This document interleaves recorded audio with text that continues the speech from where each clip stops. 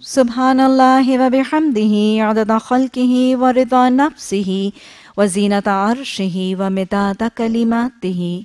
أعوذ بالله من الشيطان الرجيم. بسم الله الرحمن الرحيم. رب اشرح لي صدري ويسر لي أمري واهلل عقدة من لساني يفقه قولي واجعل لي وزيرا من أهلي. اللهم ألهمنا رشدا وأعذنا من شرور أنفسنا. اللهم أرنا الحق حقا وارزقنا اتباعه. اللهم أرنا الباطل باطلا وارزقنا اجتنابه.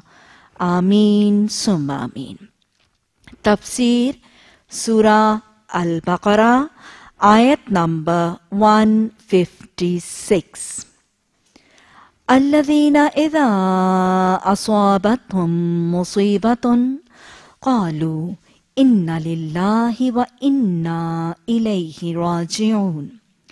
أولئك عليهم صلوات من ربهم ورحمة وأولئك هم المهتدون. وہ لوگ جب پہنچتی ہے انہیں کوئی بھی مصیبت، مصیبتن کوئی مصیبت، ایک مصیبت اینی وان مصیبت جب انہیں پہنچتی ہے تو وہ کیا کرتے ہیں؟ قالو، وہ کیا کہتے ہیں؟ انا للہ و انا الیہ راجعون صبر کی روداد اور صابروں کا اجر، صابروں کا رویہ اور صابروں کو تاکید اور تلقین کا سلسلہ جاری ہے۔ اللہ سبحانہ تعالیٰ نے کل کا سبق اگر ہم اس کے ساتھ مربوط کریں تو اللہ نے فسکرونی اسکرکم ذکر کی تاکید وشکرولی ولا تکفرونی، شکر کی طرف مائل۔ اور پھر، یا الذین آمنو، کیا کرو؟ استعینوا بالصبر والصلاة، صبر کی تاکید کی۔ اور صبر کے لیے ساتھ وعدہ فرما دیا کہ صبر کرو گے تو میری مدد، میری معیت، میرا قرب، میرے سارے معاملات کو اپنا ہم آہنگ اور اپنا معاون اور مددگار پاؤ گے۔ اللہم جعلنی صبورا و جعلنی شکورا۔ اور پھر صبر کی ایک الٹیمیٹ سچویشن شہادت۔ شہادت کا اجر اور اس کی کیفیت۔ بعد موت کیا ہے؟ اور پھر اس کے درجات کیا ہیں؟ اور پھر اللہ نے بتایا کہ یہ صبر کا معاملہ اصل میں اس لیے کہ میں آزماؤں گا تمہیں ضرور۔ آزمائشیں آئیں گی، کیسے کیسے آئیں گی؟ تمہارے، تمہیں خوف سے، تمہیں بھوک سے، جانوں کی، مالوں کی، کھانے پینے، رزق کی۔ کمیوں سے، ان پھلوں کی کمیوں سے میں تمہیں آزماؤں گا۔ اور پھر اللہ نے یہ ساری آزمائشوں کے لیے بتایا کہ یہ یہ پورٹلز ہیں، یہ یہ ذریعے آزمائش کے۔ اور ان سارے آزمائے جانے والے ذرائع میں جو لوگ صبر کریں گے، وہ بشر صابرین، ان کو خوشخبری دے دو۔ گویا اللہ کی رضا کی، اللہ کی مدد کی، اللہ کی معیت، اللہ کی معاونت، اللہ کی حمایت اور اس کی ولایت کی خوشخبری مل رہی ہے صابروں کو۔ صابروں کو خوشخبری دینے کے بعد ظاہر ہے یہ خوشخبریاں پانے اور سمیٹنے پہ سب کا دل کرتا ہے۔ اللہ نے کہا، بشر صابرین صابرین کون سے ہوتے ہیں؟ اللہ زینا صابرین کون سے لوگ ہیں؟ ارے وہ ہوتے ہیں صابر کہ جب ان کو کوئی تکلیف پہنچتی ہے۔ خوف کی، بھوک کی، پیاس کی، مار کی، پیٹ کی، استحضاء کی، روحانی، جسمانی آسابی معاشی، معاشرتی، سماجی، کسی قسم کی تکلیف پہنچتی ہے تو وہ کیا کہتے ہیں؟ قالو ان للہ و انا الیہ راجعون۔ گویا صابر وہ ہے جو ہر آنے والی تکلیف پر اللہ کا ذکر اپنی زبان پر جاری رکھتے ہیں صابر وہ ہے جو ہر آنے والی تکلیف میں پریشانی، گھبراہٹ استراب اور سراسیمگی اور پینک سٹرکن نہیں ہو جاتے، کول کمپوزڈ ریلیکسڈ رہتے ہیں۔ اللہ کی آیات، اللہ کا ذکر، اس پر توکل، اس کے کنات کے زیورات کی کیفیت میں راضی برضا رہ کر اسی کی طرف پلٹتے اور اسی کی طرف پلٹنے کا ذکر کرتے ہیں۔ کیا کہتے ہیں؟ اِنَّا لِلَّهِ وَإِنَّا إِلَيْكِ رَاجِعُونَ۔ یہ وہ کلمہ ہے جو مومن کو ہر تکلیف اور پریشانی اور غم کے آنے پر اپنی زبان سے ادا کرنا ہے۔ کیوں؟ کیونکہ یہ صابروں کی بھی نشانی ہے، یہ سنت کی بھی تاکید ہے۔ حدیث کے الفاظ ہیں کہ جب تم میں سے کسی شخص کو کوئی تکلیف پہنچے، یہاں تک کہ اگر اس کا تسمہ بھی ٹوٹ جائے، تو اسے چاہیے کہ وہ ان للہ و انا الیہ راجعون کے کلمات ادا کرے۔ تو گویا ہر تکلیف پر، ہر تکلیف پر مومن نے کیا کہنا ہے؟ یہ کلمہ کہنا ہے۔ کیوں؟ کیونکہ اللہ کے پسندیدہ بندوں کی صابروں کی صفت ہے۔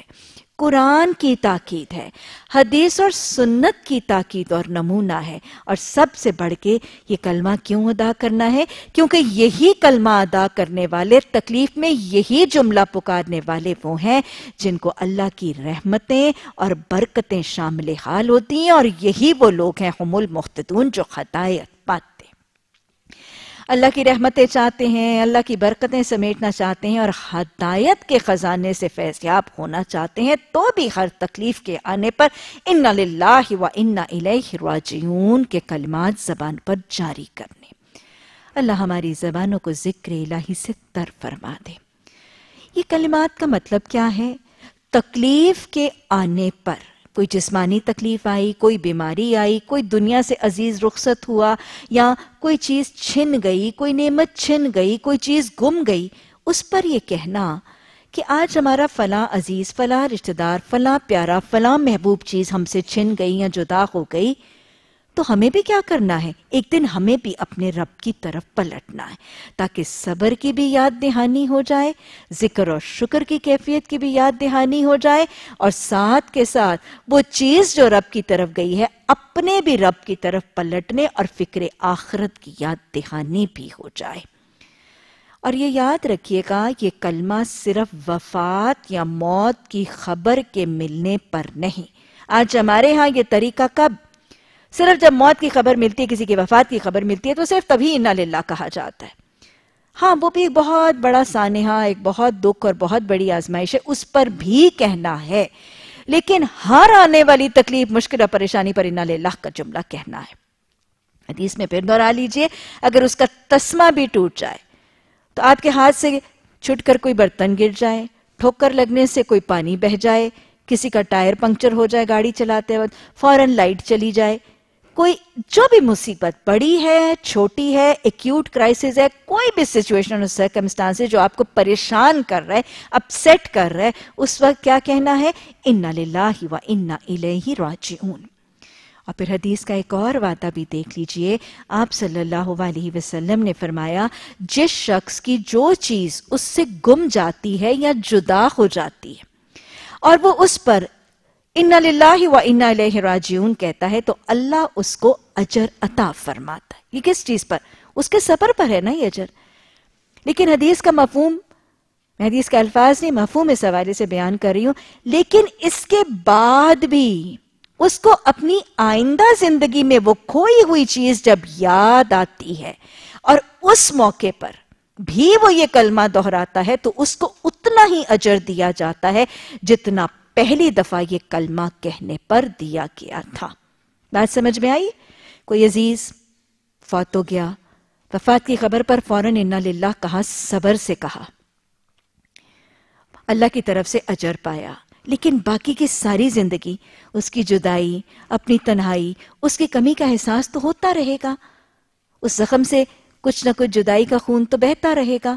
تو جب بھی اس سے اداسی اور اس کے جدائی کا احساس شدت پکڑے، اس باقی کی زندگی اور باقی مامدہ سالوں میں بھی اگر وہ تکلیف اور اداسی کے آنے پر وہ شخص انہ للہ کہے گا، تو خدیث کے حبادے کے مطابق وہ اتنا ہی اجر اپنے اس صبر کے مطابق پھر پائے گا جتنا پہلی دفعہ انہ للہ کہنے کے حوالے سے اس نے پایا۔ اور پھر ان اللہ و الیہ راجعون کے حوالے سے یہ بھی یاد رکھیے گا کہ ایک اور حدیث کا وعدہ بھی موجود ہے۔ اور یہ حدیث کا وعدہ ہم تک وہ صابروں کے گھرانے کے توسط سے پہنچتا ہے، حضرت ابو سلمہ اور حضرت ام سلمہ۔ کل ہم نے جانوں کی کمی میں حضرت ام سلمہ اور حضرت ابو سلمہ کا واقعہ جو ہے، اس کا ہم نے ذکر کیا۔ یہ گھرانہ جب کالو رب اللہ، ہمارا اللہ رب، ہمارا اللہ ہے۔ اس پر کہہ کر وہ جم گئے تھے۔ تو پہلے ازواج کو، پھر ماں بیٹے کو، سب کو الگ کیا گیا۔ پھر جب اللہ کی مدد آئی تو ماں بیٹا ملے۔ پھر ہجرت ہوئی۔ اللہ نے ہجرت کا وسیلہ بنایا اور پھر سارا گھرانہ یکجا ہو گیا مدینہ کی بستی۔ مدینہ میں جب یہ ازواج اپنے شیرخار بچے کے ساتھ پھر جمع ہوئے تو اس موقع پر ایک دن حضرت ام سلمہ فرماتی ہیں کہ حضرت ابو سلمہ میرے پاس آئے اور ان کے چہرے پر بڑی خوشی اور تازگی کے اثرات تھے۔ یعنی بڑے مسرور تھے، بڑے خوش تھے۔ اور بڑی خوشی سے آ کے انہوں نے مجھ سے ذکر کیا کہ آج میں نے محمد صلی اللہ علیہ وسلم کو بتاتے اور فرماتے سنا ہے کہ جب تمہاری کوئی بہت ہی محبوب چیز تم سے کھو جائے، وہ کوئی رشتہ بھی ہو سکتا ہے، کوئی وہ بڑی عزیز چیز بھی ہو سکتی ہے۔ جب تم میں سے کسی کی کوئی بڑی محبوب چیز اس سے کھو جائے اور وہ کیا کہے اِنَّا لِلَّهِ وَإِنَّا إِلَيْهِ رَاجِعُونَ اور پھر وہ ساتھ یہ دعا کرے، اللہم اجرنی فی مصیبتی وخلف لی خیرم من کہ اللہ کی اس تکلیف کی آزمائش یا جدائی کی اس آزمائش میں وہ پہلے انا للہ کہے اور پھر کہے کہ اللہ، میں اس تکلیف پر صبر سے تیرے لیے بہترین اجر کا امیدوار ہوں۔ کہ اس صبر کے بدلے میں تجھ سے بہترین اجر کا طلبگار یا امیدوار ہوں اور تو اس نعمت کے بدلے مجھے اس سے بہتر چیز عطا فرما۔ اس سے بہتر نیم البدل مجھے عطا فرما۔ تو جب مومن صبر کر کے ان للہ کہہ کے یہ دعا کرتا ہے، میں دعا پھر دہرا رہی ہوں کہ اللہ میں تیری اس تکلیف پر صبر کا اجر اور اس سے بہتر نیم البدل کا طلبگار ہوں۔ صبر کی حالت میں جب راضی برضا رہ کے مومن یہ طریقہ کار اور یہ الفاظ اپناتا ہے، تو حضرت ابو سلمہ نے بتایا کہ آپ صلی اللہ علیہ وسلم نے فرمایا، تو اللہ سبحانہ تعالیٰ اس کو بہتر نیم البدل عطا فرما دیتے آگے چلنے سے پہلے، ایک تو آپ صحابہ اکرام اور اس دور کے ازواج کے آپس کے تعلقات دیکھیں نا کہ آپس کے باہمی ڈسکشنز کیا ہیں، آپس کی گفتگو کیا ہے، ازواج اور میاں بیوی کے درمیان ٹاپکس آف ڈسکشن کیا ہے رشتہ داروں، عزیز و اقارب کی چگلیاں، غیبتیں، کینے، بغض، عداوتوں کے معاملات یا شکوے اور گلے اور لڑائی جھگڑے موضوعات نہیں ہیں۔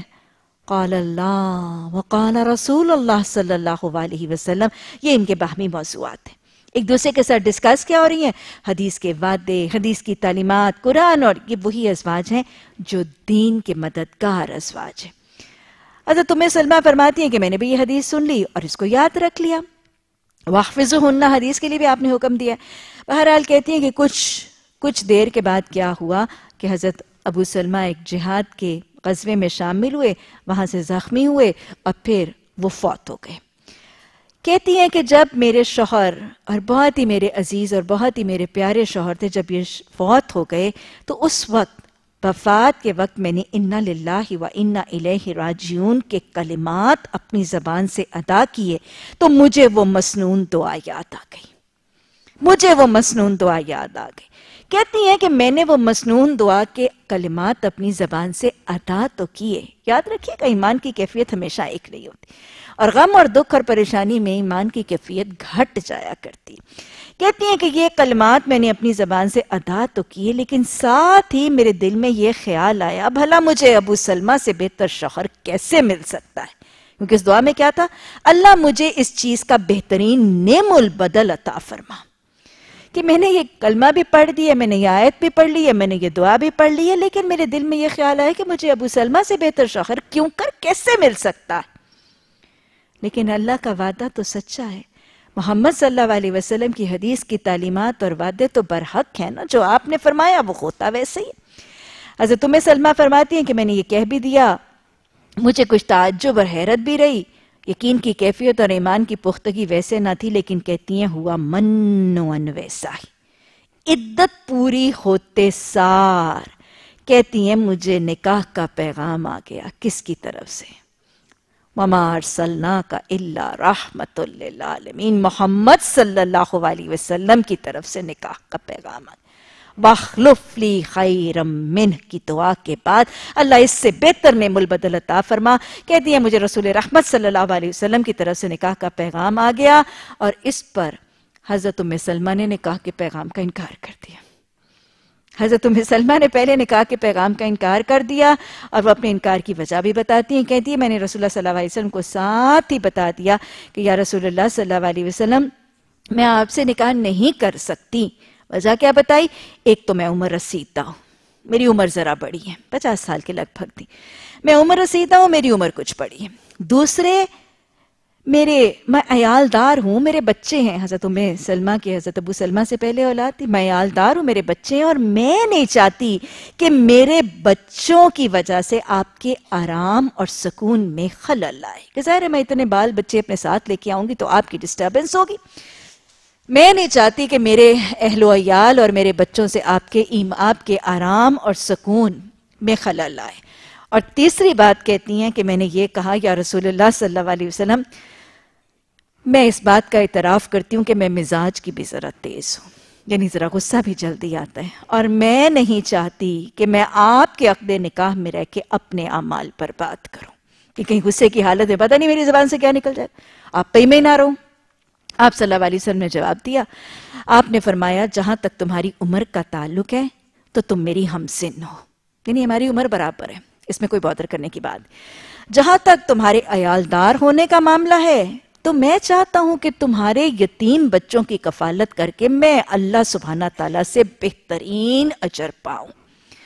اور جہاں تک تمہارے غصے کا تعلق ہے، میں اللہ سبحانہ تعالیٰ سے دعا کروں گا اور انشاءاللہ تمہارا غصہ کافور یعنی جاتا رہے گا۔ آپ صلی اللہ علیہ وسلم نے دعا کی اور حضرت ام سلمہ فرماتی ہے میرا غصہ واقعی جاتا رہا اور یوں نکاح ہو گیا۔ تو لہٰذا یہ یاد رکھیے گا، تکلیف کے آنے پر ہر تکلیف کے آنے پر ہمیں یہ کلمہ بھی کہنا ہے اور وہ مسنون دعا کو پورے یقین، پورے توکل اور پورے ایمان کے ساتھ اپنی زبان سے ادا بھی کرنا ہے۔ اللہ ہمارے حافظوں میں بھی اضافہ فرمائے اور اللہ یہ علم کے خزانے جو رب کی توفیق سے ہم تک پہنچتے ہیں، اللہ ان سے بہراور ہونے کی بھی ہمیں بہترین توفیق عطا فرمائے۔ تو اللہ سبحانہ تعالیٰ نے فرمایا کہ وہ لوگ جو تکلیف اور مصیبت کے آنے پہ انا للہ کے کلمات کہتے ہیں، وہ میری رحمتیں، میری برکتیں بھی سمیٹتے ہیں اور حیا، ہدایت سے بھی سرفراز ہوتے ان الصفا والمروت من شعائر اللہ بے شک صفا اور مروہ شعائر اللہ میں سے ہیں۔ شعائر شعیرہ کی جمع ہے۔ شعیرہ کہتے ہیں نشان کو، سمبل کو علامت کو، پہچان کے طریقے کو آئیڈینٹیفیکیشن کا پوائنٹ نشان سمبل علامت، پہچان کی کا ذریعہ یا پوائنٹس آف آئیڈینٹیفیکیشن شعیرہ کی جمع ہے شاعر. ہر دین کے کچھ شاعر ہوتے ہیں. آپ دیکھیں کہ شاعر کو سمجھنے اور شعیرہ کے مطلب کو سمجھنے کے لیے آپ دیکھیں مختلف سکولز کے یونیفارمز ہوتے ہیں. ہمارے ادارے کا بھی ایک یونیفارم ہے۔ ہر ادارے کا، ہر اسکول کا ایک یونیفارم ہوتا ہے۔ وہ یونیفارم دیکھ کے ہم کیا پہچان لیتے یہ اسٹوڈنٹ فلاں ادارے کا ہے۔ وہ یونیفارم اس اسکول اس انسٹیٹیوشن کی پہچان اور آئیڈینٹیفیکیشن ہے۔ اسی طرح مختلف محکمے، حکومتی محکموں کے مختلف یونیفارمز، پولیس والوں کا ایک یونیفارم، آرمی والوں کا ایک یونیفارم، نیوی اور ایئر فورس والوں کے الگ یونیفارمز۔ یونیفارمز کیا ہیں؟ ان کے ان ڈپارٹمنٹس کے شاعر یا شاعرہ ہیں۔ آرمی کے اندر یا نیوی کے اندر یونیفارم ایک ہے۔ اب مزید علامتیں اور نشانیاں۔ آپ نے دیکھا ہوگا کندھوں کے اوپر وہ چھوٹے چھوٹے پپس ہوتے ہیں۔ کچھ پہچان ہے، یہ کیپٹن ہے، کچھ میجر ہے، کچھ کرنل ہے، کچھ فل کرنل ہے اور پھر وہ ریڈ ٹیپ آ جاتی ہے۔ یہ کیا ہے؟ یہ سب پہچان ہیں، علامتیں ہیں۔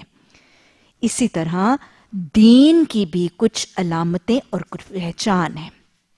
کچھ عمل، کچھ بلڈنگز مسجد کیا ہے؟ مسجد دین اسلام کی ایک نشانی، ایک سمبل ہے۔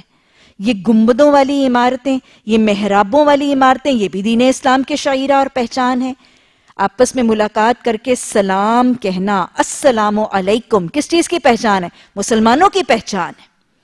یہ حجاب والا لباس یہ بارش، چہرہ، یہ سب کس کی پہچان ہے؟ داڑھی، حجاب ابایا نکاب یہ کس کی پہچان اور سمبل ہے؟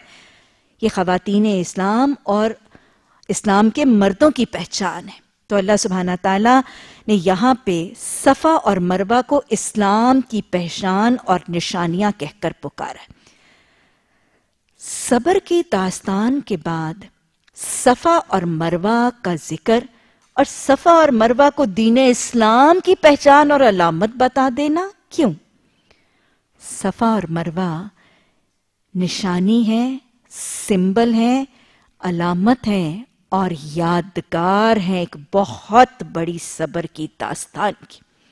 کون سی ہے داستان؟ ایک مسلم خاتون حضرت حاجرہ کے صبر کی داستان کے شاعرہ ہیں، صفا اور مروہ۔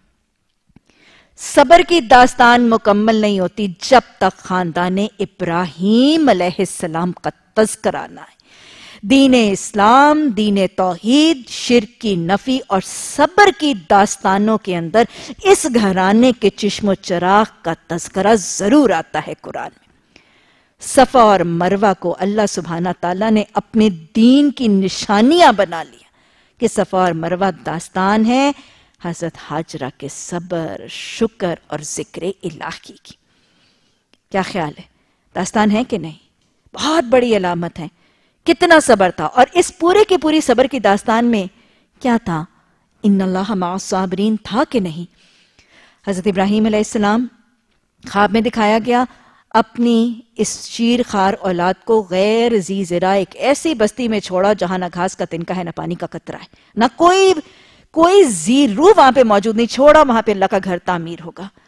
اتنا طویل سفر طے کر کے ایک پانی کا مشکیزہ اور ایک تھیلا کھجور دے کر اس ماں اور بیٹے کو اس وادی غیر زی زرا میں آباد کیا گیا تھا۔ کیا خیال ہے، صبر نہیں تھا؟ کیا اطاعت اللہ کا اتنا مشکل حکم ہے؟ جان، مال، پھلوں کی کمی سے آزمائے جا رہے ہیں۔ حضرت حاجرہ نے پوچھا تھا، ابراہیم ہمیں یہاں کیوں چھوڑے جا رہے ہیں خاموش ہیں۔ جواب نہیں دے پا رہے۔ ہمت نہیں ہے نا۔ ہونٹ اور زبان ساتھ نہیں دے رہی۔ اتنی بڑی آزمائش۔ ارے، وہ بڑھاپے کی اولاد۔ حضرت اسماعیل علیہ السلام، حضرت ابراہیم علیہ السلام کے لیے بہت سپیشل اولاد ہے بیٹا ہے، بڑھاپے کا بیٹا ہے۔ اور اس کے لیے کہا جا رہا ہے ڈائریکٹلی گلا گھونٹنے کا حکم دے دیا جاتا تو شاید اس سے آسان ہوتا۔ کہہ دیا گیا، اس بستی میں جانا، اس کو پانی ملے گا نہ جو خوراک ملے گی، اس میں یہاں پہ چھوڑ دو تاکہ پتہ نہیں کیسے سسک سسک کے معاملہ ہو. لیکن ان اللہ مع صابرین و جس کو یقین ہونا، وہی اطاعت کیا کرتا ہے۔ وہی استقامت اور صبر سے جمع کرتا ہے۔ ایک دفعہ پوچھا حضرت ابراہیم علیہ السلام کو، ابراہیم، ہمیں یہاں کیوں چھوڑ رہے دوسری دفعہ پوچھا، تیسری دفعہ پوچھا حضرت ابراہیم علیہ السلام، جواب کی طاقت نہیں رکھتے۔ حضرت حاجرہ صابرہ نے، شاکرہ نے، جن کے قدموں کی چاپ کو اللہ نے شاعر اللہ بنا دیا، اس صابرہ نے کہا، کیا اللہ کا حکم ہے؟ کیا اللہ کی مرضی ہے؟ اپنی اور اپنی اولاد کی جان کے جاننے کا۔ تڑپ تڑپ کے، سسک سسک کے پیاس سے مرنے کا خوف تو ہے۔ بھوک کا بھی خوف ہے، پھلوں کا بھی خوف ہے۔ مالوں کا اور جانوں کے سارے فورسز اور سارے خوف کمبائن کر رہے ہیں، لیکن کیا رب کا حکم ہے؟ سمعنا و اتوانا وہ بھی راضی پر رضا ہے۔ صابر ہے، شاکرہ ہے۔ ہر ہی تکلیف آئی، خوف کی بھی آئی ہوگی۔ تن تنہا اتنے بڑے ریگستان میں خوف بھی آیا ہوگا۔ بھوک بھی آئی، پیاس بھی آئی۔ اپنے بچے اور اپنے جان کے جانے کا ڈر بھی آیا۔ سب کچھ آیا۔ کیا تھا؟ زبان میں حق کے خلاف علاوہ کچھ نہیں نکلا۔ ایک باطل کلمہ نہیں نکلا، وہ کھجوروں کا تھیلا ختم ہو گیا، پانی کا مشکیزہ ختم ہو گیا، اور جب پانی ختم ہو گیا تو چھاتی میں دودھ بھی سوکھ گیا۔ وہ پیاس سے بل بلاتا ہوا بچہ اس کی حالت جب ماں سے دیکھی نہیں گئی، تو پھر وہ ماں وہ چکر کاٹتی ہے صفا اور مروہ کے درمیان۔ یہ ہے وہ صبر کی، یہ ہے وہ شکر کی، یہ ہے وہ توکل اللہ کی اور کنات الہی کی داستان۔ جو اللہ سبحانہ تعالیٰ کو اس صابرہ اور اس شاکرہ کے صبر کی کیفیت اتنی پسند آئی تھی کہ اللہ نے ان دو پہاڑیوں کے درمیان جن کے درمیان یہ ماں لپکی تھی اور ماں نے چکر کھائے تھے، اللہ کے صبر کی کیفیت۔ اللہ نے ان دو پہاڑیوں کو دین کا شعیرہ بنا دیا، دین کی علامت بنا دیا، حج کے مناسک میں سے ایک اہم مناسک بنا دیا۔ اور قیامت تک اللہ سبحانہ تعالیٰ نے یہ کہہ دیا کہ کسی حاجی مرد اور عورت کا حج پورا نہیں ہوگا جب تک صفا اور مروہ کے درمیان تم اس طرح دوڑ نہیں لوگے جیسے میری صابرہ دوڑی تھی۔ وَجْعَلِّي لِسَانَ صِدْقٍ فِي الْآخِرِينَ، اللہ تو صابروں کا تذکرہ ذکر خیر قیامت تک قائم رکھتا ہے۔ اللہ صابروں کو چھوڑا نہیں کرتا۔ کسی حاجی کا کسی عمرے کرنے والے کا حج اور عمرہ مکمل نہیں ہوگا جب تک ادھر تم نقش پا دیکھو گے صابر و شاکر و مسلم حنیف کے، اپنی آنکھوں سے دیکھو گے کہ مسلم حنیف کس رستے پر چلتے تھے، ان کے نقش پا کیسے یہ حج کی تربیتوں میں سے کچھ تربیت ہیں۔ اور پھر تم اس رستے پہ، اس انداز میں دوڑ کے وہ واقعے کو واپس یاد نہیں کر لوگے کہ صابر دوڑتے کیسے ہیں اللہ کی اطاعت۔ صابر راضی بر رضا کیسے رہتے ہیں اللہ کی اطاعت؟ یہ تربیت ہے صحیح کی، یہ نشانی ہے صحیح کی، جس کو اللہ نے ذکر خیر کے طور پر، ایک سنت اور ایک فریضہ دین کی طور پر اللہ نے قائم کر دیا اور پھر کیا اس ساری تکلیف میں اللہ نے چھوڑ دیا تھا؟ کیا بھوکے پیاسے تڑپ کر سسکنے کے لیے چھوڑے گئے تھے؟ ان اللہ صابرین اللہ کو اس صابرہ کا دوڑنا، اس کا صبر، اس کا راضی پر رضا رہنا اور توقل اتنا پسند آیا تھا۔ ان اللہ معصابرین میں نے آپ کو کل بھی بتایا، پھر بار بار بتاؤں گی۔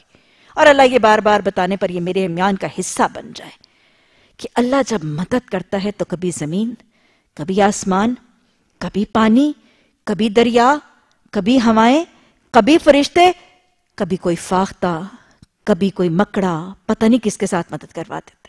ایک کلمہ کون اور اللہ کی مخلوق اس کی مددگار ہو جاتی۔ یہاں زمین معاون بن گئی تھی۔ والدہ چکر کاٹ رہی ہیں صفا مروہ کے درمیان۔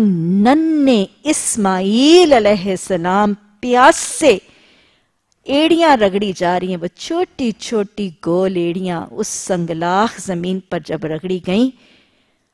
تو اللہ سبحانہ تعالیٰ نے حضرت جبریل امین کو حکم دے کر وہاں سے چشمہ پھوٹ نکلا تھا۔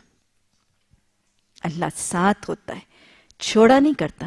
اور اللہ آزماتا ہے۔ یہ بات پلے سے باندھ لیجیے۔ اللہ مومنوں کو آزماتا ہے، لیکن اس آزمائش سے مارتا نہیں ہے۔ جان نہیں لیتا، ان کی نعمتیں چھین نہیں لیتا۔ ہاں آزماتا ہے، آزمائش کچھ دیر کے لیے آتی ہے، لیکن پھر اللہ کی مدد شرط ہے۔ وہ نن اسماعیل علیہ السلام کی چھوٹی چھوٹی، نرم، نازک ایڑیاں اس سنگلاخ پتھریلی زمین، ذرا جا کے دیکھیے گا مکہ کی زمین۔ آپ کو احساس ہوگا کتنی پتھریلی اور کتنی سنگلاخ۔ بس جب اللہ کا حکم اور اللہ کی مدد آئی وہ چشمہ پھوٹا، ماں نے وہ چشمہ دیکھا۔ پانی جاری ہے جاری ہے، فکر ہوا پانی بہ جائے گا۔ کہا، زم زم، تھم جا۔ کہاں تھمتا ہے۔ اللہ کی رحمت تو تھما ہی نہیں کرتی نا۔ اللہ کی مدد تو تھما ہی نہیں کرتی جب صابروں کے ساتھ آ جاتی ہے۔ وہ جاری ہے، وہ جاری ہے، وہ چشمہ حرم کی نشانیوں میں سے بن گیا۔ اور وہ جاری ہے، وہ اتنے ہزار سالوں سے جاری ہے اور ایسے جاری ہے کہ آج تک تھما نہیں۔ وہاں سے بھر بھر کے لوگ خیر کی جھولیاں یہاں بھی لاتے ہیں، شفا کے نسخے لاتے ہیں۔ وہاں سے پائپوں سے لگا لگا کے حوض بھرے جاتے ہیں مدینہ کی بستی میں اور پتہ نہیں کہاں کہاں جاتا ہے پانی۔ یہ وہ جاری ہے کہ وہ کبھی رکا ہی نہیں۔ اللہ کی مدد ایسے آتی ہے۔ اور پھر اللہ نے اللہ نے تنہا چھوڑا نہیں تھا۔ اس اس بے خار ریگستان میں جتنے مسائل تھے اللہ نے اپنی مدد سے حل کیے۔ کیا کیا مسئلے تھے؟ پہلا مسئلہ تھا، کھانا نہیں تھا، پانی نہیں تھا، بھوک اور پیاس پہلا مسئلہ تھا۔ ان اللہ الصابرین، میری رضا کے لیے بھوک اور پیاس کی تکلیف میں صبر کرو گے، میں چھوڑوں گا نہیں۔ یہ آب زمزم چاہے زمزم پھٹ پڑا تھا یاد رکھیے گا آب زمزم بھوک بھی مٹاتا ہے، پیاس بھی مٹاتا ہے۔ عام پانی تو صرف پیاس مٹاتا ہے۔ آب زمزم وہ پانی ہے جو بھوک اور پیاس دونوں مٹاتا ہے۔ میں ذاتی طور پر اس کا تجربہ کر چکی ہوں۔ پھر دوسری تکلیف تھی تنہائی کی۔ کوئی زیروئی نہیں ہے۔ دو ماں بیٹے اکیلے تن تنہا اتنے بڑے صحرا میں۔ تنہائی، اکیلے پن کا خوف۔ ان اللہ ایسے مدد کروں گا آباد ہوگی، ایسے بستی۔ کہ یہاں پہ تو قیامت تک چکر لگتے رہیں گے۔ کیسے آباد کی تھی؟ صحرا ہے نا؟ صحرا میں ہوتا کیا ہے کہ صحرا میں دور دور تک پانی نہیں ہوتا، لیکن جس جگہ پہ پانی ہوتا ہے، اس جگہ پہ، اس فوارے، اس چشمے، اس پانی کے ذخیرے کے بالکل اوپر پرندے چکر کاٹتے اور منڈلاتے رہتے ہیں، کیونکہ ان کو وہاں پہ پانی ملنا ہوتا ہے۔ جب یہ چشمہ یہاں پھوٹا، چاہے زمزم یہاں سے نکلا یہ چشمہ یہاں پہ جاری ہوا۔ اللہ سبحانہ تعالیٰ کے حکم سے وہ پرندے اس چشمے کے اوپر چکر کاٹنے لگے۔ دور سے آنے والے قافلوں نے دیکھا کہ ریگستان میں وہ فلاں جگہ ہے جہاں پانی میسر ہے۔ ان اللہ صابرین یہ تنہائی ختم ہو گئی۔ یہ تنہائی ختم ہو گئی۔ اور وہ خطہ آباد ہو گیا۔ قبیلہ جرہم کے لوگ آئے اور اس خطے میں حضرت حاجرہ اور حضرت اسماعیل علیہ السلام کے آباد کار بن گئے۔ تیسرا مسئلہ کیا فکر معاش کا کوئی ذریعہ نہیں تھا، مال کی کمی تھی۔ جان کی کمی بھی دور ہوئی، کھانے اور بھوک اور پیاس کی کمی بھی دور ہوئی، تنہائی کا خوف بھی اللہ نے مٹا دیا۔ آباد ہو گیا خطہ، بس گیا خطہ، جنگل میں آبادی آ گئی۔ اور پھر مالوں کی کمی تھی۔ قوام نہیں ہے۔ حضرت ابراہیم علیہ السلام چھوڑ گئے۔ کمائے گا کون؟ وہ بچہ کمائے گا یا بچے کو دودھ پلانے والی ماں کمائے گی؟ مالوں کے کمی سے آزماؤں گا، لیکن پھر صبر کرو گے تو ذریعے وزیلے بنا بھی دوں گا۔ حضرت حاجرہ حضرت حاجرہ نے اسی پانی کا کاروبار کر لیا۔ باٹر، میں پانی دوں گی، تم مجھے اس کے بدلے گیہوں دو گے۔ میں پانی دوں گی، یہ یہ اس چاہے زمزم کی متولی بن گئی، اس کی نگران بن گئی، یہ میرے معاملے سے میری نگہداشت میں پھوٹا ہے، یہ میرا ہے۔ صحرا میں جس کو چشمہ مل جائے، صحرا میں جس کو پانی کا ذریعہ مل جائے، وہ تو بڑا، بہت بڑا اس کا معاش کا ذریعہ۔ یہی چشمہ ان کی بھوک بھی مٹا گیا، پیاس بھی مٹا گیا، تنہائی کا دور کر گیا، اور یہی چشمہ ان کا فکر معاش، ان کے کمائی کا ذریعہ بھی بن گیا۔ اللہ چھوڑا نہیں کرتا، اللہ رحمان بھی ہے۔ اللہ رحیم بھی ہے، اللہ الودود بھی ہے، اللہ سمی بھی ہے، وہ بصیر بھی ہے، وہ خبیر بھی ہے۔ تکلیف میں آزمائے جانے والے کو وہ سن رہا ہوتا ہے۔ اگر وہ بے صبری کرے، اللہ سے شکوے شکایتیں کریں تو بھی وہ سنتا ہے۔ اگر وہ تکلیف کے آنے پر کیسے صبر کرنا ہے؟ صبرن جمیل صبر کا طریقہ ہے۔ مومن کیسے صبر کرتا ہے؟ جو ہی اسے تکلیف پہنچتی اللہ کا ذکر اور قرآن کی آیات اور ان للہ کہہ کے اللہ کا ذکر کرتا ہے۔ یاد رکھیے گا، صبر کا طریقہ یہ بھی نہیں ہے کہ صبر تکلیف کے آنے پر پہلے رونا، دھونا، چہرے نوچنا، کپڑے پھاڑنا، بالوں کو بکھیرنا، شکوے، شکایتیں، اللہ سے بھی نعوذ باللہ۔ یہ ساری تکلیفیں اللہ نے مجھے پر بھیجنی ہے نعوذ باللہ۔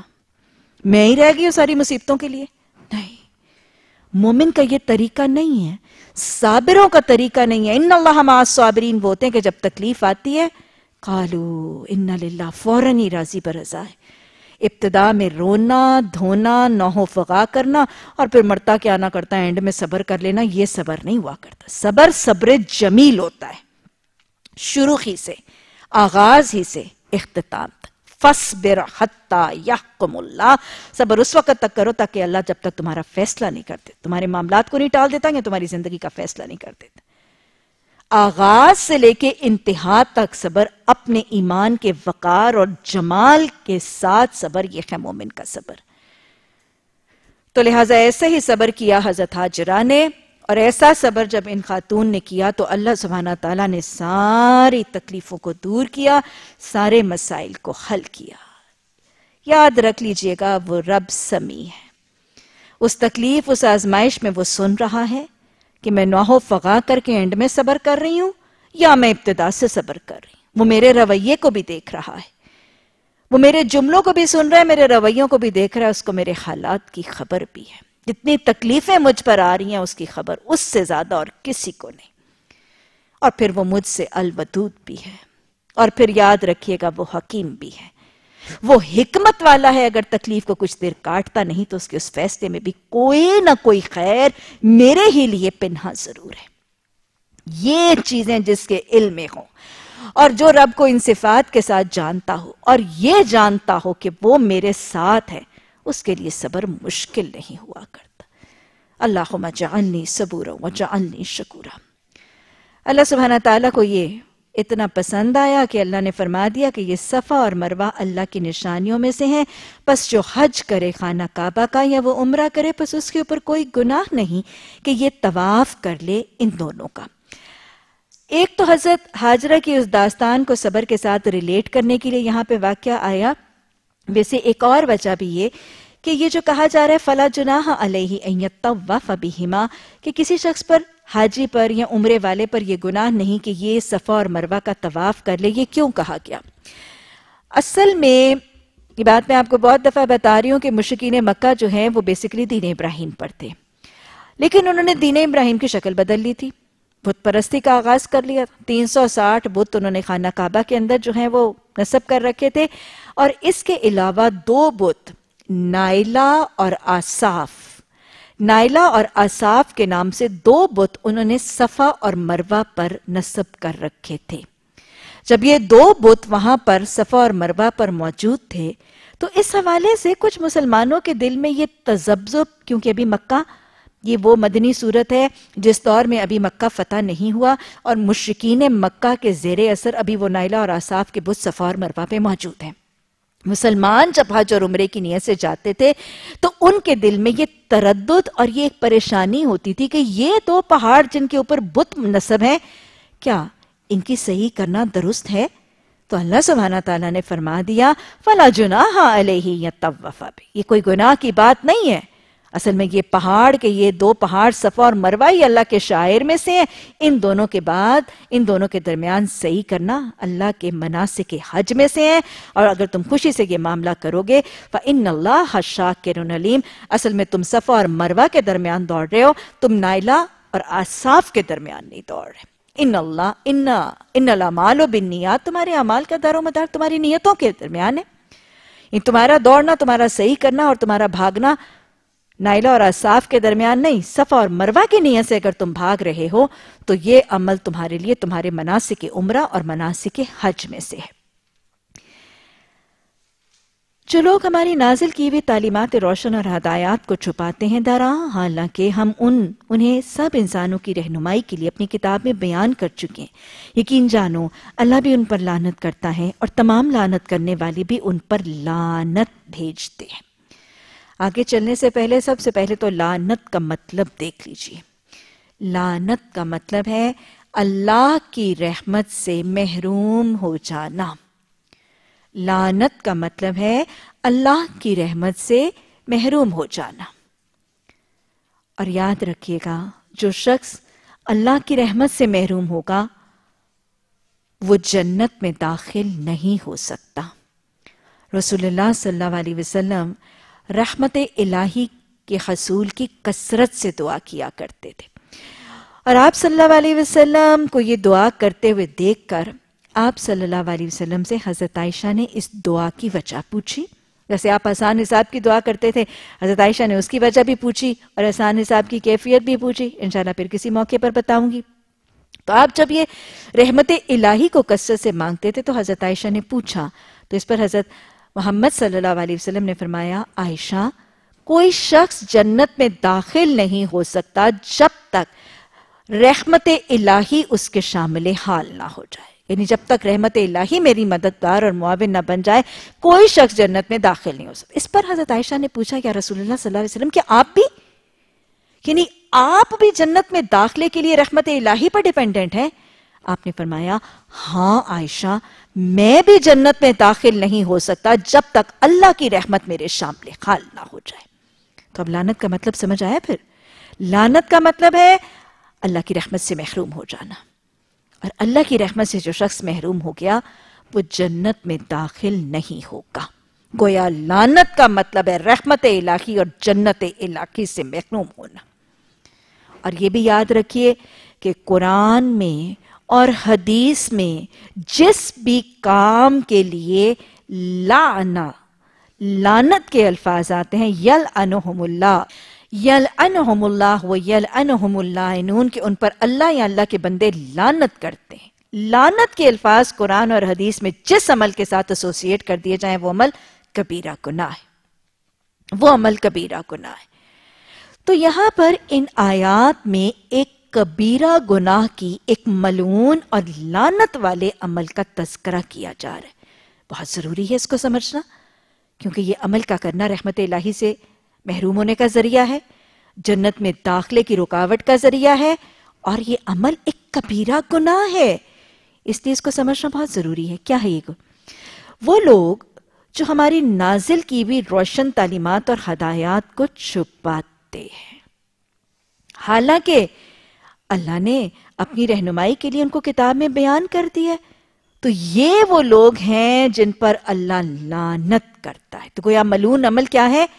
قرآن اور حدیث کی کلیئر کٹ واضح بین احکامات جب کسی تک پہنچ جائیں اور وہ پہنچا جانے والا شخص ان کو بیان، ان کو ظاہر اور پہنچانے سے انکار کر دے، یہ ملون عمل ہے۔ اللہ اپنے رحم، اپنے کرم، اپنے فضل سے قرآن اور حدیث کی تعلیمات کی خیر کسی کی جھولی میں ڈالے۔ آج ہی آپ نے حدیث پڑھی۔ وَمَن يُرِدُ اللَّهُ بِهِ خَيْرًا، اللہ جس کے ساتھ بھلائی کا ارادہ کرتا ہے اس کو کیا کرتا ہے؟ يُفَقِّهُ فِي الدِّينِ وہ اس کو دین میں فہم عطا کرتا ہے۔ تو وہ شخص جس کے پاس اللہ کی رحمت اور کرم، اس کے فضل سے اس کے پاس دین کی بین کلیئر کٹ احکامات، حلال، حرام، جائز نجائز گناہ اور نیکی ڈوز اور ڈونٹس کا تصور جس تک دین کا پہنچ جائے، اس کے باوجود وہ ان کو چھپائے۔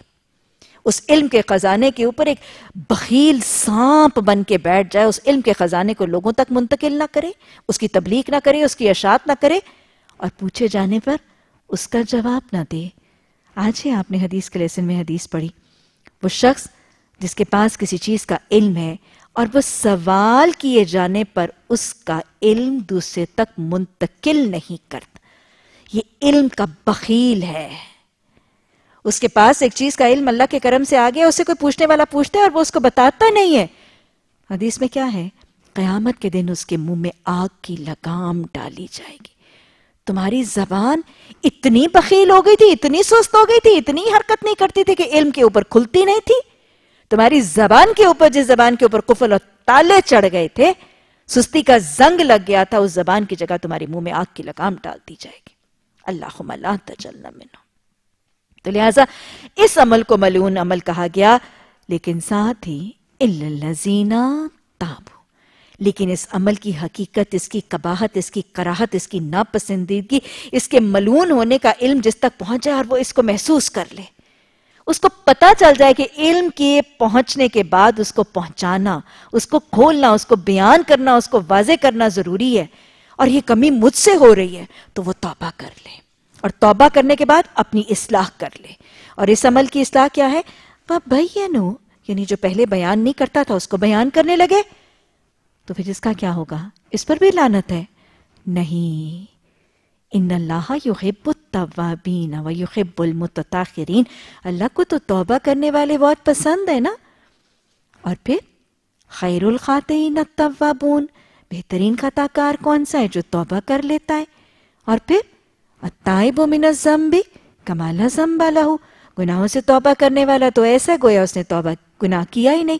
تو لہٰذا جو توبہ کرتا ہے توبہ کر کے اپنے غلط رویے کی اصلاح کرتا ہے اور اس میں اصلاح کیا ہے؟ جو بیان نہیں کرتا تھا، اب اس کو بیان کرنے لگتا ہے۔ پاؤلا کہا تو بولیک ایسے لوگوں کی اللہ توبہ قبول کرتا ہے۔ کیوں؟ وانا التواب الرحیم میں ہوں ہی توبہ قبول کرنے والا اور رحم کرنے والا۔ اللہم اللہم جعلنی من التوابین وجعلنی من المتطخرین اللہ سبحانہ تعالی اللہ جو قرآن کا علم اور بین آیات اور احکامات تو اپنے کرم اور فضل سے ہم تک پہنچاتا ہے، اللہ ان کی حفاظت کی توفیق عطا فرما۔ اللہ ان کی خبر لوگوں تک پہنچانے کی توفیق عطا فرما۔ اللہ ہمارے زبانوں کی گرے کھول دے۔ اللہ ہمارے حافظے میں اضافہ فرما دے۔ اللہ ہمارے سینوں کو تنگیوں سے بچا لے۔ اور اللہ ہمیں فصاحت اور بیان کی صلاحیت بھی عطا فرما دے۔ ان الذین کفروا وماتوا وهم کفار اس میں شک کوئی نہ کرنا۔ کس بات پر؟ کہ وہ سارے کے سارے لوگ جو کفر کرتے تھے، جنہوں نے کفر کیا، اور وہ مر گئے کفر کی حالت میں۔ یہی وہ لوگ ہیں جن پر لانت ہے اللہ کی۔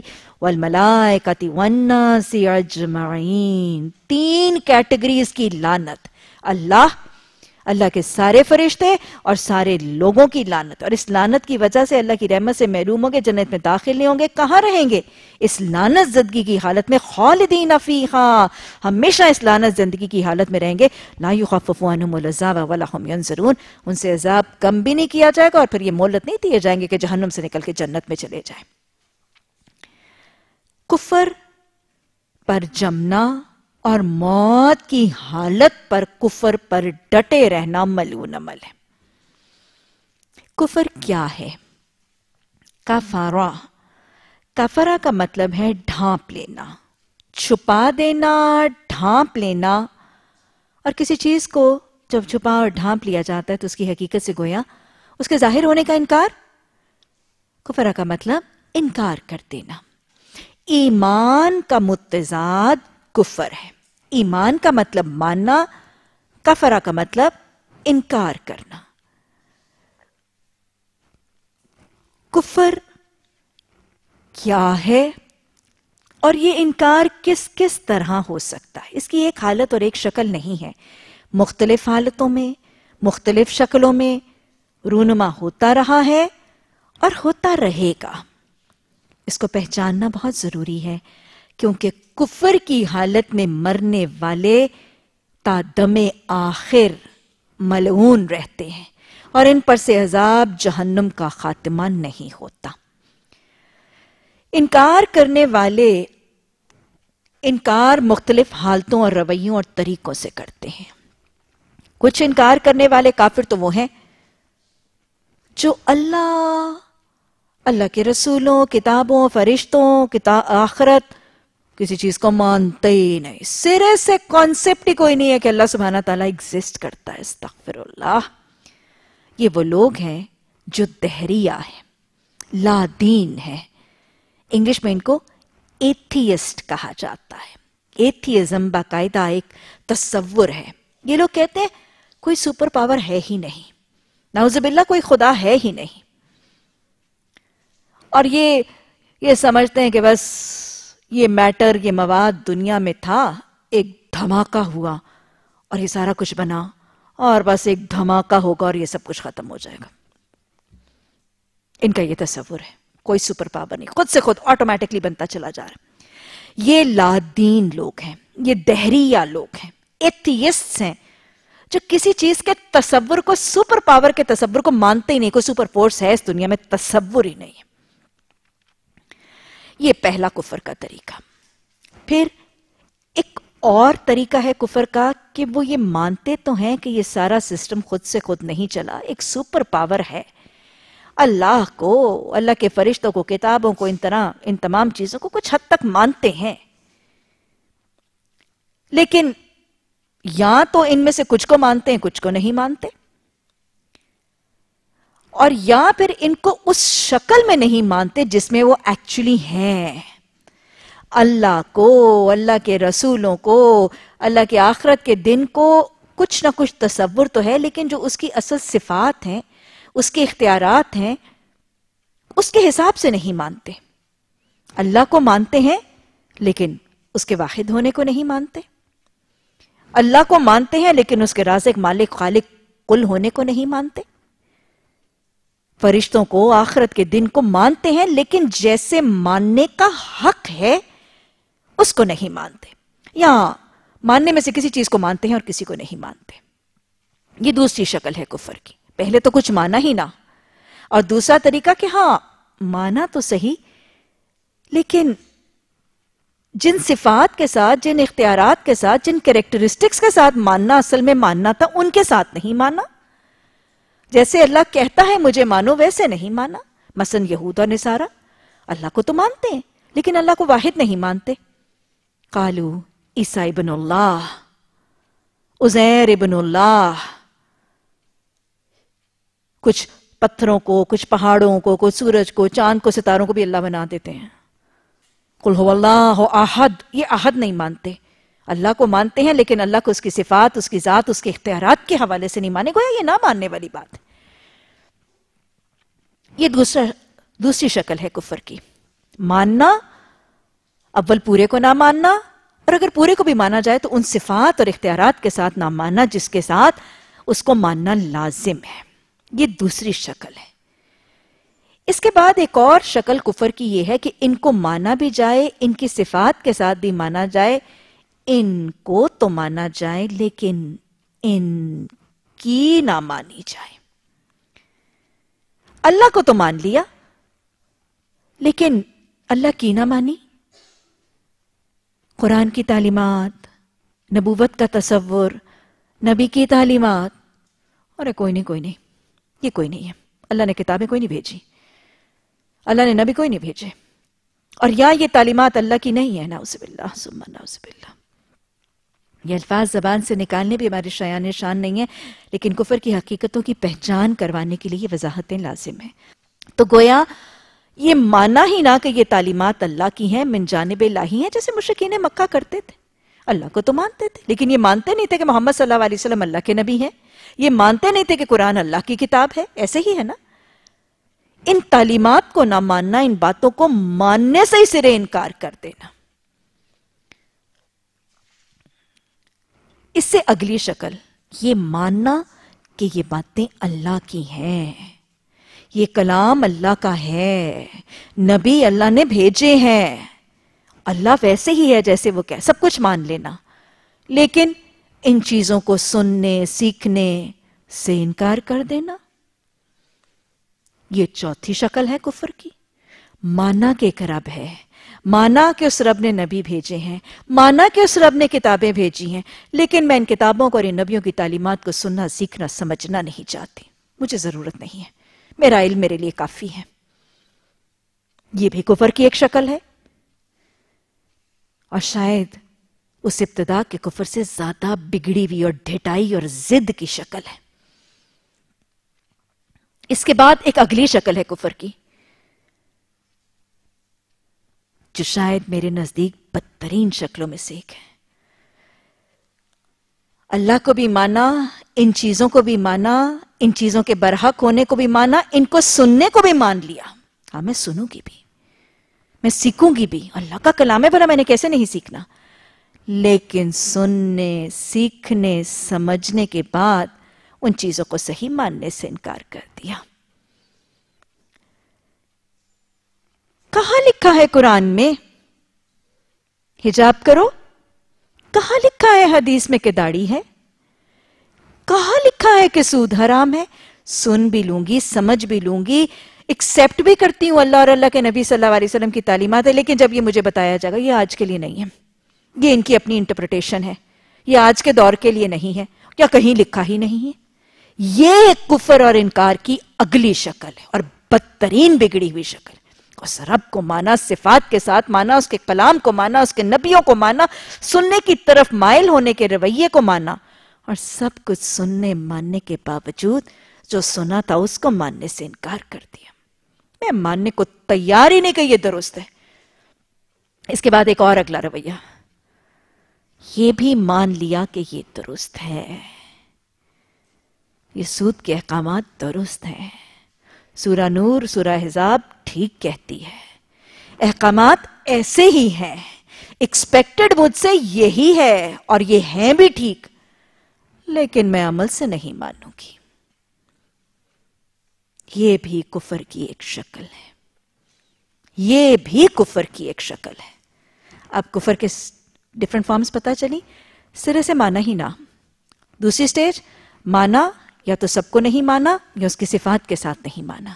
تیسری، ان دونوں شکلوں میں تو مان لیا، لیکن ان کی تعلیمات کچھ ایگزسٹ نہیں کرتا۔ تعلیمات کو، پیغامات کو، احکامات کو ماننے سے انکار کر دیا۔ کوئی پیغام نہیں، کوئی تعلیم نہیں، یا مجھے سننے کی ضرورت۔ یا ان کو سننے سے انکار کر دیا۔ سننے کے بعد سن کر ماننے سے انکار کر دیا اور سن کر، مان کر عمل کا انکار کر دیا۔ یہ سب کفر ہے۔ یہ سب کفر ہے۔ اپنے ایمان کا اعلان اور اعتراف کیجیے۔ ربنا اننا آمنا۔ ربنا اننا آمنا۔ فاغفر لنا ذنوبنا وقنا عذاب النار۔ اللہ ایمان کا اعلان بھی کرتے ہیں۔ اللہ اس ایمان کی حفاظت کی توفیق عطا فرما۔ اللہ اس ایمان کی قدر کرنے والا بنا اور اللہ اس ایمان میں ہمیں ثابت قدمی اور پختگی اور اضافہ کرنے والا بنا۔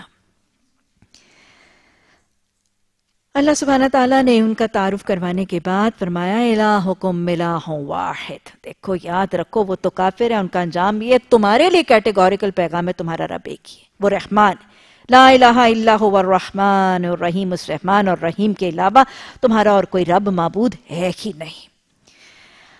اور پھر آیت نمبر 164 میں جب اللہ نے واضح طور پر کہہ دیا کہ تمہارا رب ایک ہی ہے، وہی رحمان تمہارا محبود معبود ہے، اس کے علاوہ تمہارا معبود برحق کوئی نہیں ہے۔ تو اگلے رکوع کی پہلی آیت، بیسویں رکوع کی پہلی آیت آیت نمبر 64 میں 164 میں، اللہ رحمان اور رحیم الہ واحد نے اپنے، اپنی کچھ نشانیاں اور کچھ پہچان کی علامتیں بتا دی سورہ بکرہ کی یہ آیت نمبر 164 یہ قرآن کی وہ آیت ہے جس میں اللہ سبحانہ تعالیٰ کی ذات، صفات کی پہچان اور نشانیاں سب سے زیادہ ایک آیت میں جمع کر دی گئی ہیں۔ سات نشانیاں ایک آیت میں سنگل سٹنگ میں جمع ہے قرآن میں مختلف آیات میں آئے گی۔ مختلف موقعوں پر شاید ایک سٹنگ میں اس سے زیادہ نشانیاں آئیں گی، لیکن کچھ ایک آیت میں، کچھ اگلی آیت میں، کچھ دو آیات بعد، کچھ ایک رکو میں، کچھ اگلے رکو میں، لیکن ایک ہی آیت میں اللہ سبحانہ تعالیٰ کی اتنی نشانیاں اور اللہ سبحانہ تعالیٰ کی پہچان کی اتنی علامتیں ایک جگہ پہ موجود نہیں ہیں، یہ وہ قرآن کی آیت ہے۔ انفی خلق السماوات والارض تمہارا خدا ایک ہی اس رحمان اور رحیم کہ تمہارا کوئی خدا نہیں، اس حقیقت کو پہچاننے کے لیے اگر کوئی نشانی اور علامت درکار ہے، تو جو لوگ عقل سے کام لیتے ہیں، ان کے لیے آسمان اور زمین کی ساخت میں، رات اور دن کے ایک دوسرے کے بعد آنے جانے میں۔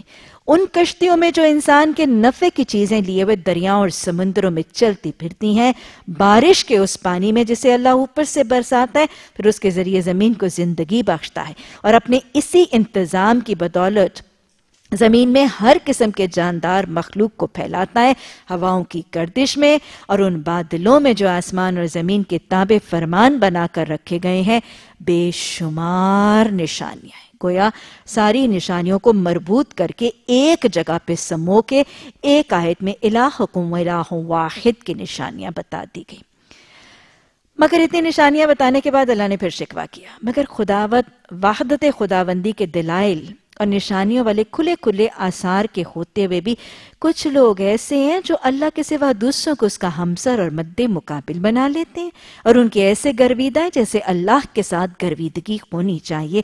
حالانکہ ایمان رکھنے والے لوگ سب سے بڑھ کر اللہ کو محبوب رکھتے ہیں۔ کہا گیا کہ اللہ تو ایک ہے، اس کی اس کی ذات، اس کے صفات، اس کے اختیارات کی پہچان کے لیے یہ اتنی نشانیاں موجود ہیں۔ لیکن اتنی نشانیاں ہونے کے باوجود زمین و آسمان اور کائنات میں نظر گھما کے دیکھ تو یہ ساری نشانیاں تمہیں اپنے گرد و پیش میں نظر آتی ہیں، لیکن اس کے باوجود، اور یہ ہر ایک کوئی نظر آتی۔ کوئی صاحب علم ہے، کوئی صاحب قرآن ہے، کوئی عالم قرآن ہے، کوئی عابد ہے، کوئی فاضل ہے، جیسا بھی ہے، یہ نشانیاں تو سب کو نظر آتی ہیں۔ لیکن اس کے باوجود، یہ نشانیاں صبح شام آنکھوں سے دیکھنے اور کانوں سے سننے اور دل سے محسوس کرنے کے باوجود there is a huge group of people جو اللہ کو ایک مانتے ہی نہیں اللہ کے ساتھ شریک بناتے ہیں اور پھر اللہ کے ساتھ ایسا دوسری ذاتوں اور دوسری چیزوں کو اتنا محبوب بنا لیتے ہیں کہ جیسے اللہ سے محبت کا حق ہے۔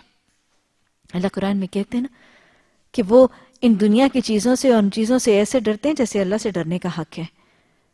یتخذ من دون اللہ یحبونہم کا حب اللہ۔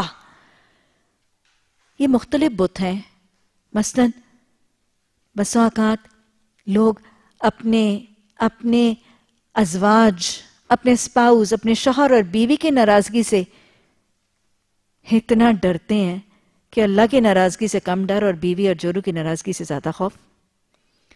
بس اوقات اپنے بچوں کے روٹ جانے کا خوف، بچوں کے ناخوش اور پریشان ہو جانے کا خوف اللہ کے روٹ جانے کے خوف سے زیادہ ہے۔ بس اوقات اپنی برادری کے سوال جواب کا خوف۔ اللہ کی پوچھ اور سوال سے میری برادری کیا کہے گی؟ یہ خوف زیادہ تاری ہے؟ اللہ کیا کہے گا؟ اللہ کیا پوچھے گا؟ یہ خوف نہیں ہے۔ برادری کی پوچھ کا خوف زیادہ ہے۔ شوہر ناراض ہو جائے گا۔ یہ خوف زیادہ ہے۔ رب ناراض ہو جائے گا۔ یہ خوف کم ہے۔ بچے روٹ جائیں گے۔ یہ خوف زیادہ ہے۔ رب روٹ جائے گا۔ یہ خوف کم ہے۔ سہیلیاں۔ سہیلیاں ناپسند کریں گی، یہ خوف زیادہ ہے۔ رب ناپسند کرے گا، یہ خوف کم ہے۔ یہ ہے اللہ کے ساتھ شریک بنا لینا۔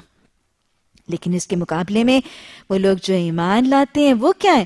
وہ لذین آمنو اشد حب اللہ وہ اللہ کی محبت میں شدید ہے رب کو راضی کرنے کا شوق، سب کو راضی کرنے کے شوق سے زیادہ ہے۔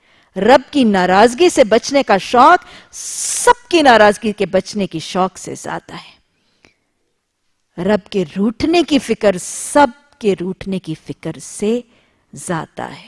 کیونکہ رب راضی تو سب راضی، رب روٹے تو سب روٹے۔ ایک رب کو منانا یاد رکھیے گا، بہت آسان ہے۔ رب کو منانا بڑا آسان ہے۔ رب کے بندوں کو منانا بڑا مشکل ہے۔ اور وہ یاد رکھیے گا جو ایک رب کو راضی کر لیتا ہے نا۔ پھر رب اپنی محبت ان لوگوں کے دلوں میں خود ہی اس شخص کی محبت ڈال دیا کرتا ہے۔ دل تو اللہ کی دونگلیوں کے درمیان ہے۔ وہ معاملہ تو اس نے بدلنا اللہ سے اللہ کی محبت بھی کثرت سے مانگا کریں۔ اللہم انی اسألکا حبکا وحب من یحبکا وعمل اللذی یبلغنی حبکا اللہ اپنی محبت عطا فرما۔ اللہ سبحانہ تعالیٰ ان لوگوں کی محبت عطا فرما جو تجھ سے محبت کرتے ہیں۔ اور اللہ ہمیں وہ عمل بھی محبوب بنا دے جو ہمیں تیری محبت تک پہنچا دے۔ مومن کون ہوتے ہیں جو اللہ کی محبت میں شدید ہیں؟ کاش جو کچھ عذاب ان کو سامنے دیکھ کر آن سوجنے والا ہے، آج ہی ان ظالموں کو سوج جائے کہ ساری طاقتیں اور سارے اختیارات تو اللہ کے قبضے میں ہیں۔ اور یہ کہ اللہ سزا دینے میں بھی بہت سخت ہے اور جب وہ سزا دے گا، اس وقت کیفیت یہ ہوگی کہ وہی وہی پیشوا اور رہنما جن کی دنیا میں پیروی کی گئی تھی، اپنے پیرووں سے بے تعلقی کا اظہار کریں گے، مگر سزا پا کر رہیں گے اور ان کے سارے اسباب اور وسائل کا سلسلہ کٹ جائے گا۔ اور وہ لوگ جو دنیا میں ان کی پیروی کرتے تھے، کہیں گے کاش ہمیں ایک موقع اور مل جائے۔ تو جس طرح آج یہ ہم سے بیزاری کا اظہار کر رہے ہیں، ہم بھی ان سے بیزار ہو کر دکھائیں۔ یوں اللہ، ان لوگوں کے وہ عمل جو وہ دنیا میں کر رہے تھے، ان کے سامنے اس طرح لائے گا کہ یہ حسرتوں اور پشیمانیوں کے ساتھ ہاتھ ملتے رہ جائیں گے، مگر آگ سے نکلنے کی کوئی راہ نہیں پائیں گے۔ اس آیت میں اللہ سبحانہ تعالی دنیا کی اطاعتوں کا پیمانہ سمجھا رہے ہیں۔ اور کاری قرآن کو بر وقت یہ جھنجوڑ رہے ہیں کہ دنیا میں دیکھ لو کہ تم کس کی اطاعت کر رہے ہو۔ کیونکہ اللہ نے تو اطاعت کا پیمانہ کیا سکھایا؟ اصل متا اللہ ہے۔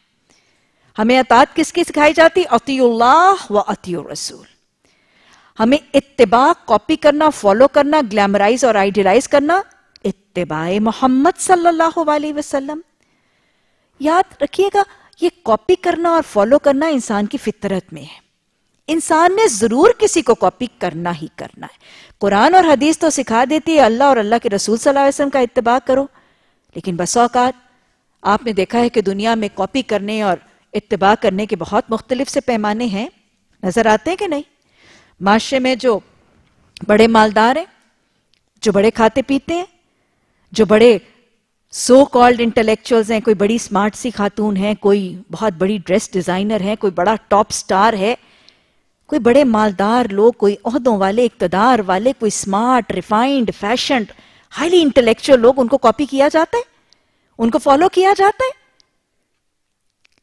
جیسے وہ پہنتے ہیں، ویسے لوگ پہنتے ہیں، جیسے وہ چلتے ہیں، ویسے لوگ چلتے ہیں، جو وہ کھاتے ہیں ویسے لوگ کھانے لگتے ہیں۔ معاشرے کے اوپر والے طبقے کو لوگ لیمرائز نہیں کرتے۔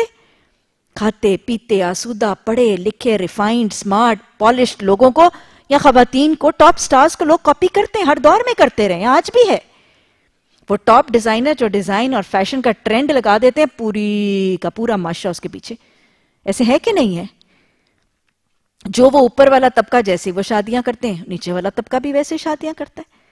جو گھر کی خاتون خانہ جیسے لباس پہنتی ہے، اس کے نیچے اس کی ملازمائیں۔ باجی، آپ سلیو پہنتی ہے میں بھی آپ سلیو پہنوں گی۔ باجی نے اپنی بچے کی سالگرہ کی ہے، میں بھی اپنی سالگرہ کروں گی۔ کیا خیال ہے، یہ طریقہ نہیں ہے؟ یہی وہ پیمانہ ہے۔ اور یہی پیمانہ ہمیں یہ آیت سمجھا رہی ہے کہ قیامت کے دن کیا ہوگا کہ کچھ لوگ ہوں گے جن کی کچھ دوسرے لوگوں نے پیروی کی ہوگی۔ ٹاپ سٹارز ہیں جن کو نیچے والوں نے ایسے دیکھا ہوگا، یہ ایسے کرتے ہیں، ہم بھی ایسے کریں۔ اب وہاں پہ جا کے کیا ہوگا؟ جن کو کاپی کیا ہوگا نا، وہ کاپی کرنے والوں سے بزا، نہیں نہیں، مجھے کوئی نہیں کاپی کرتے تھے، یہ خود ہی گناہ کرتے تھے۔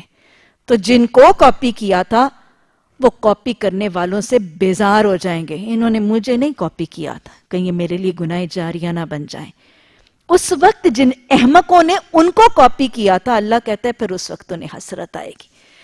یہ ساری زندگی میں اسی کو دیکھ دیکھ کے کھاتی رہی، پیتی رہی، پہنتی رہی، چلتی رہی، اسی کے مطابق۔ جیسے یہ ناچتی تھی، ویسے میں ناچتی رہی، جیسے یہ چلتی تھی، ویسے میں چلتی رہی، جو فلمیں یہ دیکھتی تھی، ویسے میں دیکھتی رہی۔ اور آج یہ مجھ سے بیزار ہو رہی ہے۔ اچھا اللہ، مجھے ایک دفعہ دنیا میں بھیج۔ میں پھر اس سے بیزار ہو کے دکھاؤں جیسے مولت ملے گی؟ نہیں۔ وہ کہتے ہیں نا، اب پچھتائے کیا ہو، اب جب چڑیاں چک گئیں کھیت۔ اس وقت تو چڑیاں کھیت چک جائیں گی۔ جو عمال نامہ آگے بھیجا ہے، جس کو کاپی کرتے رہے ہو، اس دنیا میں دیکھ لو۔ آنکھیں کھول رہی ہیں یہ آیات۔ اس دنیا میں اپنے سرکلز آف آئیڈیلائزیشن کو دیکھو۔ تم کن کو لک اپ کرتے ہو؟ تم کن کے روب میں مروب ہو کے ان کے مطابق اوڑھتے پہنتے ہو؟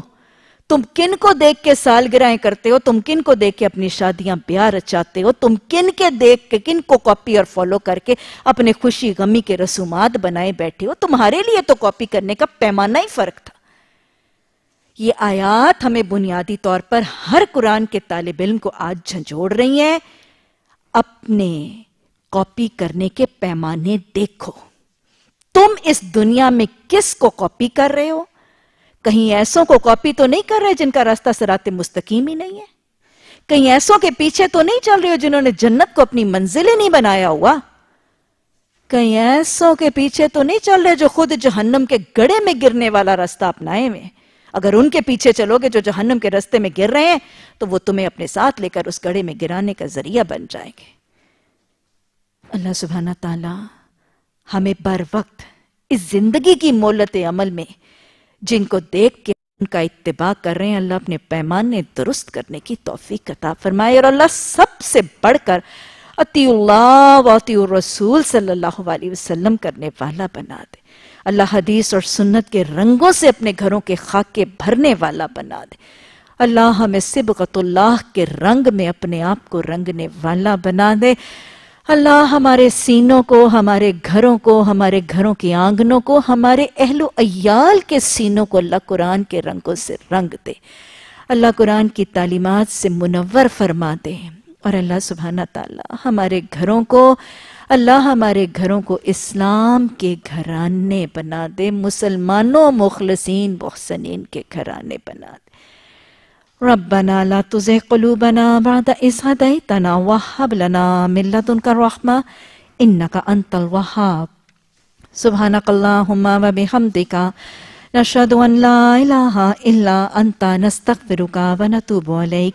سبحان ربك رب العزة عما يصفون وسلام على المرسلين والحمد لله رب العالمين.